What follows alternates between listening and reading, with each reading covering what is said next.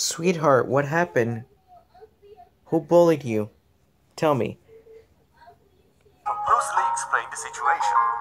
Uh, I was playing with the snowman at the park. Then suddenly some senior kids came over and threw snows at me because because I have small